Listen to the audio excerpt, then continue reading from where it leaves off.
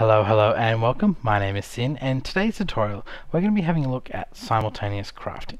I'm going to be using the AE2 uh, crafting network that I've made before, so if you want to have a look at that, please have a look at a previous tutorial, but for today we're going to crack on with simultaneous crafting. What does that mean? Simultaneous crafting to me means creating the same item using two different machines. And what do I mean by machines? Well, it could be an ME interface with a molecular assembler. It could be maybe an alloy smelter from Ender IO. Um, it could just be a redstone, uh, sorry, it could be redstone furnace from thermal expansion. Anything like that where we want to use more than one machine to give us better throughput.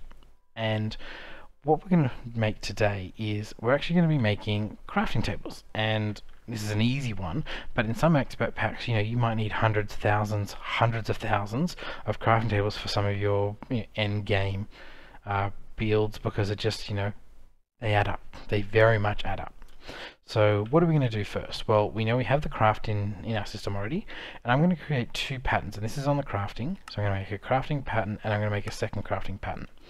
And the most important thing here is that they're exactly the same. They're both crafts, two wood, so oak wood planks with one oak wood with no substitutions. So they're exactly the same. What I'm going to do is I'm going to put them in separate ME interfaces. And as you can see here, they go straight in. And now we have two molecular assemblers that have those patterns. And if we jump in here and let's say we craft, I'm going to say craft 400, hit start, and there we go. So we can see we're crafting them pretty quickly.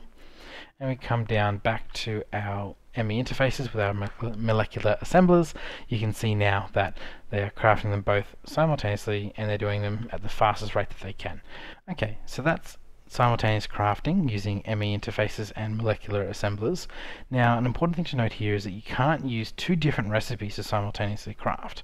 And what do I mean by that? Well, let's say I used here, I used a crafting pattern. Let's say in another machine like a precision sawmill or um, another or a sawmill from uh, from thermal expansion, you wouldn't choose the two recipes. It'll choose one or the other. Now, that's not to say that if you had two recipes for the sawmill and two separate sawmills that that wouldn't simultaneously craft, but it won't craft with the sawmill and it won't craft with the molecular assembler simultaneously. It's an important thing to note. If you've liked this video, feel free to leave a like or a comment. And if you'd like to see more like this, please feel free to subscribe. Otherwise, have a good day. See you now.